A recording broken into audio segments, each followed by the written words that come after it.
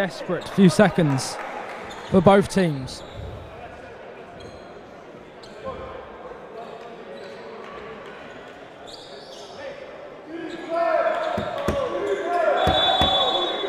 Derby with the ball for Manchester, looking for the man, looking for his options.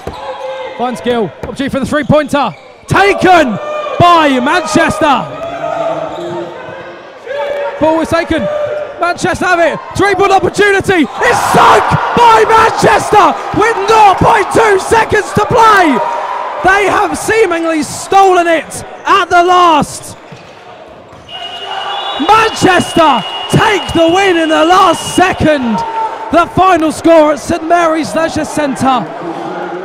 Team Solent Kestrels 77, Manchester Magic 79.